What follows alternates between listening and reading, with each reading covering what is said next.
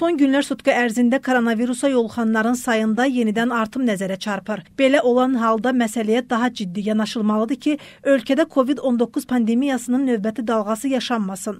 Çünki bu ilk növbədə özümüzün və yaxınlarımızın sağlamlığı üçün vacibdir.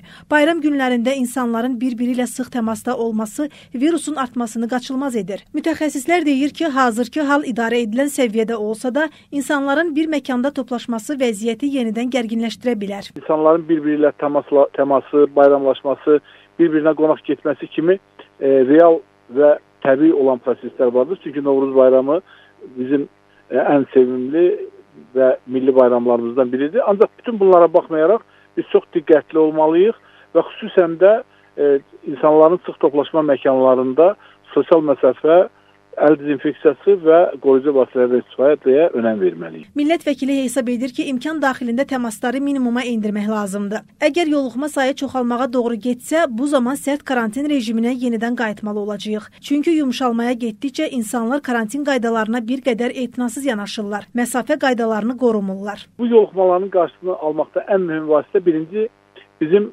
sadə qoruyucu vasitələrə çox ciddi şəkildə riayət etməmiz. Yoluxmaların sayı bilirsiniz ki, Azərbaycanda bir müddət öncə kifayət qədər aşağı rəqəmlərdə müşahidə olunurdu və bu da e, təbii ki, bir qədər rahatlamalara gətirib çıxarmışdır. Ancaq koronavirusun yoluxma intensivliyi təbii ki, dayanmır. İntensivlik olduğu kimi yoluxdurucu qabiliyyəti vardır.